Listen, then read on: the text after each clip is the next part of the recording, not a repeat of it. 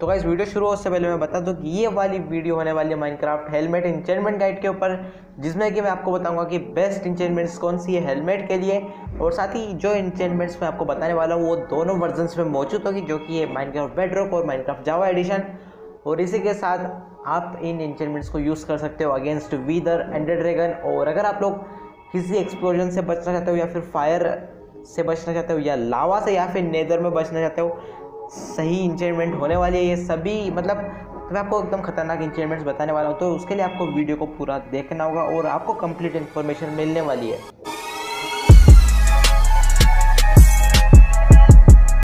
यो WhatsApp guys हर्षरण स्वागत है आप लोगों का एक और नई वीडियो में। तो गाइस आज की इस वाली वीडियो में मैं आप लोगों को बताने वाला हूँ हेलमेट के लिए सबसे अच्छे इंचेंटमेंट्स कौन सी है और आप अपने हेलमेट को बेडस कैसे बना सकते हो? उसी के साथ मैं आपको बताना चाहूँगा कि ईविल बाबा चैनल पर आपको क्या देखने को मिलता है? मतलब कि इस चैनल पर आपको किस टाइप की वीडियोस देखने को मिलती है? तो माइनक्राफ्ट की माइनक्राफ्ट रिलेटेड वीडियोस आपको यहाँ पर देखने को मिलती है जैसे कि यार माइनक्राफ्ट ट्यूटोरियल्स जो कि जिसमें क्या आते हैं माइनक्राफ्ट ट्यूटोरियल्स कुछ चीज़ अगर आपको ढूंढनी है या फिर मोड्स डाउनलोड करने, या फिर आपको फार्म बनाना, या फिर स्टार्टर हाउस और उसी के साथ बहुत सारी सीरीज़ मैंने स्टार्ट किया like Minecraft survival guide Minecraft settings guide Minecraft enchantment guide और अभी तो बहुत ही खतरनाक सीरीज़ आने वाली है और साथ ही काफ़ी सही कंटेंट है अगर आप लोग देखना चाहते हो मैंने पूरी कम्युनिटी को घेर रखा है यार। अल्टीमेटली अगर आप, मैं आपको बताऊँ तो पूरी कम्युनिटी को घेर रखा है। मैंने आज की सारी वीडियो में आप लोगों को बताने वाला हूँ बेस्ट इंचेंटमेंट्स आपके हेलमेट के लिए। और अगर आपको नहीं पता कि आपकी सोड या फिर किसी भी टूल में सबसे अच्छी इंचेंटमेंट्स कौन कौन सी होती है तो आप आई बटन पर क्लिक करके पूरी सीरीज़ देख सकते हो, जिसमें कि मैंने आपको एकदम डीपली जाके एक्सप्लेन किया है कि आप लोग कैसे यार अपनी जो स्वॉर्ड यार, बाकी सारे टूल्स को बेडस बना सकते हो, जैसे कि बो और तो काफ़ी सही वीडियोस है वो जो मैंने यार प्रीफर करूँगा आपको या फिर सजेस्ट करूँगा आपको। तो वीडियो शुरू करते हैं, लेकिन उससे पहले मैं आपको बताना चाहूँगा, आपको वीडियो देखने से पहले चार बातों का ध्यान रखना है। वो चार बात क्या है? तो ये सबसे पहली बात है कि आपको वीडियो को पूरा देखना होगा। वीडियो को पूरा क्यों देखना होगा? अगर आप वीडियो को पूरा नहीं देखोगे तो आपको इंचेंटमेंट सही से पता नहीं चलेगी और आप मतलब गलत इंचेंटमेंट्स लगा लोगे और उसके बाद आपका हेलमेट इतना पावरफुल नहीं रहेगा और इतना एफिशिएंट नहीं रहेगा। और जो दूसरी चीज़ है वो ये है कि ये वीडियो सारे वर्जन्स में चलने वाली मतलब कि माइनक्राफ्ट के बेडरॉक माइनक्राफ्ट जावा और 1.16 1.14 सारे वर्जन्स में ये वीडियो वर्क करती है और थर्ड बात ये है कि ये वीडियो पूरी रिसर्च से बनाई गई है। मतलब कि आपको मैं गलत इन्फॉर्मेशन नहीं देने वाला।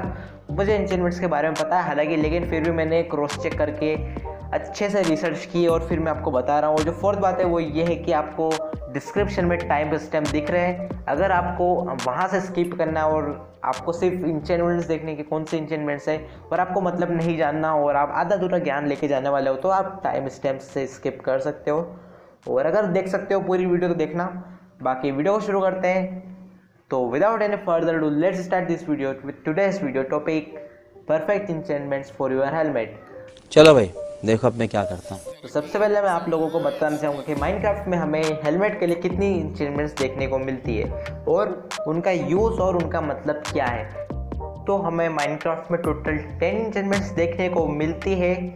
हेलमेट के लिए और इन सब का मतलब अगर आपको नहीं पता तो तो अभी मैं आपको बताने वाला हूँ। तो उन सब में सबसे पहली इंचेंटमेंट है प्रोजेक्टाइल प्रोटेक्शन अब प्रोजेक्टाइल प्रोटेक्शन से क्या होता है कि अगर कोई भी मोब कोई भी मोब से मेरा मतलब ये है कि जो भी मोब मतलब कि स्केलेटन्स घास, ऐसे जो मॉब्स होते हैं मतलब कि अगर कोई भी चीज़ आपके ऊपर फेंक के मारते ना मतलब एरो या फिर फायर बॉल्स अगर आपके ऊपर कोई चीज़, कोई भी चीज़ फेंक के मारते तो उसका जो डैमेज है वो रिड्यूस हो जाएगा काफ़ी ज़्यादा हद तक।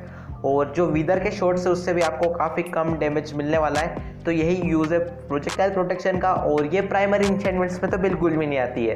जो नेक्स्ट और जो नेक्स्ट इंचेंटमेंट है, वो है फायर प्रोटेक्शन अब आपको इससे नाम, आपको इसके नाम से ही पता चल रहा होगा ये आपको फायर से प्रोटेक्ट करती है मतलब कि अगर आप लोग लावा में गिर जाते हो तो काफ़ी सही प्रोटेक्शन होता है इसका। और मैं इसे भी प्राइमरी इंचेंटमेंट नहीं कहूँगा, लेकिन फिर भी मैंने आपको मतलब बता दिया इसका। मतलब कि अगर आपको, आपके ऊपर कोई भी फायर हो रही है या फिर आप लावा में गिर चुके हो तो डैमेज काफ़ी ज़्यादा कम मिलने वाला है।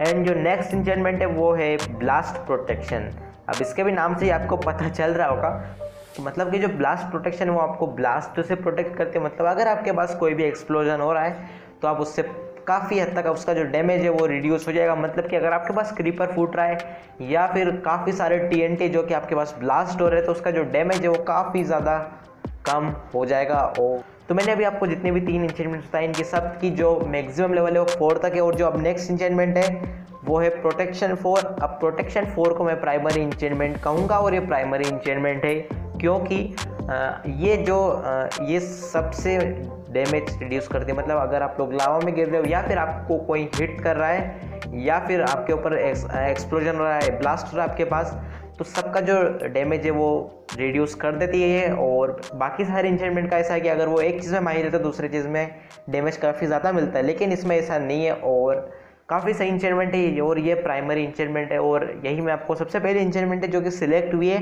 प्राइमरी इंचमेंट्स के उसमें एंड जो नेक्स्ट इंचमेंट है, वो है मेंडिंग अब मेंडिंग तो यार एक कॉमन इंचमेंट है, क्योंकि आप इसे किसी भी टूल में लगा सकते हो. अब इसका आपको मतलब अगर नहीं पता तो मैं बता दूँ. इसका मतलब ये है कि अगर आप किसी भी मॉब को या फिर किसी भी फॉर्म में अगर आपको एक्सपी मिलती है ना, और अगर वो एक्सपी और अगर आपने ये आर्मर पहन रखा है तो होगा क्या कि आपकी जो एबिलिटी होगी अपने हेलमेट की, वो अपने आप ही रिपेयर हो जाएगी उस एक्सपी से। तो यही फ़ायदा है मेंडिंग का, और काफ़ी सही इंचमेंट है ये। और इससे भी हम सिलेक्ट करने वाले हमारे टूल के लिए। और नेक्स्ट इंचमेंट है अनब्रेकिंग अनब्रेकिंग का मतलब ये है कि अगर आप मतलब आपके जो टूल है, उसकी जो एबिलिटी होगी, वो तीन तीन लेवल तक बढ़ जाएगी। इसकी मैक्सिमम लेवल तीन तक है।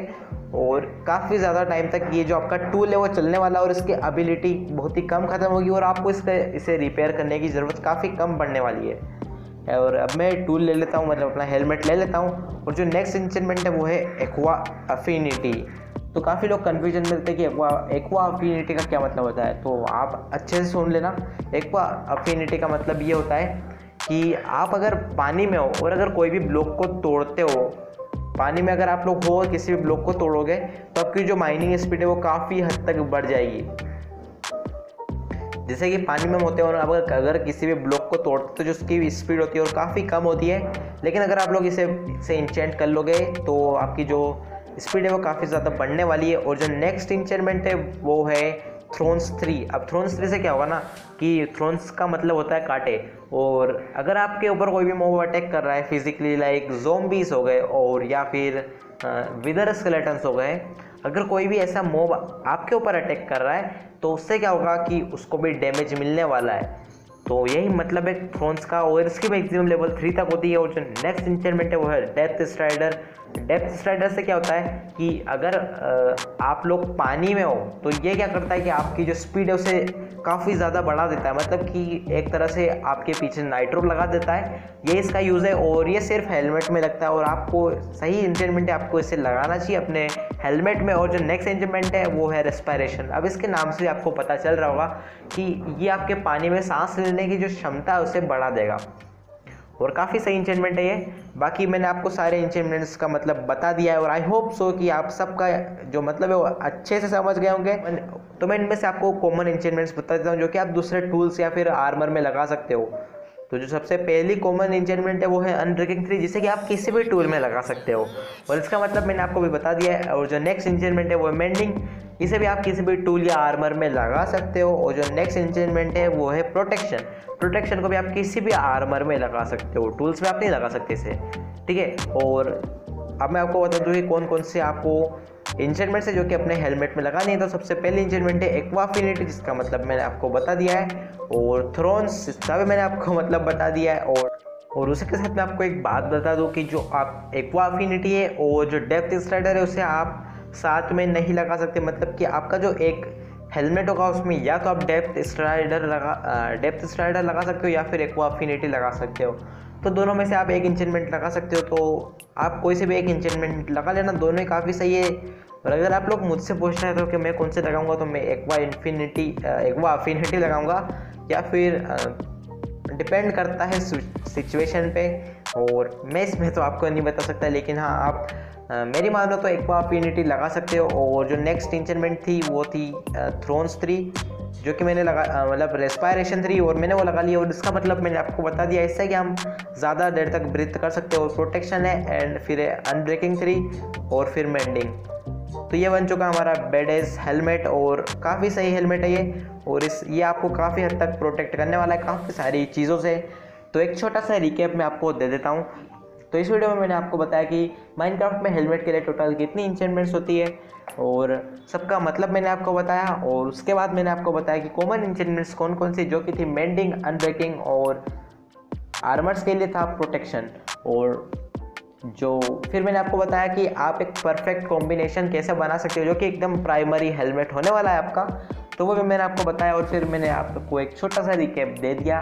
और आई होप सो कि आप लोग अच्छे से समझ गए होंगे इस वीडियो में जितना भी मैंने आपको बताया है। और अब आपको कन्फ्यूज़न नहीं होने वाली। अगर आप लोगों ने ये वीडियो अच्छे से शांति से देख ली होगी और अगर आप लोगों को वीडियो अच्छी लगी हो तो लाइक कर देना और अगर आप लोगों को नहीं पता तो मैं बताता हूँ कि मैं माइनक्राफ्ट की और भी इंचेंटमेंट्स के बारे में बताता रहता हूँ। तो पूरी सीरीज़ की लिंक डिस्क्रिप्शन में है, आप पूरी सीरीज़ देख सकते हो, जिसमें कि मैंने आपको बताया स्वॉट के इंचेंटमेंट एक्स के इंचेंटमेंट मतलब सारे टूल्स बता दिए मैंने और फ्यूचर में मैं बाकी के आर्मर्स का भी बताने वाला हूँ और काफ़ी सारी चीज़ें इंचेंटमेंट के लिए जो कि अभी आपको जाननी चाहिए और प्रोबेबली आपको वो नहीं पता होगी तो आपको ये सीरीज़ फॉलो करनी चाहिए। मैं आपको हाईली रिकमेंड करूँगा। और अगर आप लोगों को ऐसी वीडियोस और देखनी हैं तो आप चैनल को सब्सक्राइब कर सकते हो। बाकी मैं मिलूँगा आप लोगों से नेक्स्ट वीडियो में। तब तक के लिए लेट्स स्प्रेड पॉजिटिविटी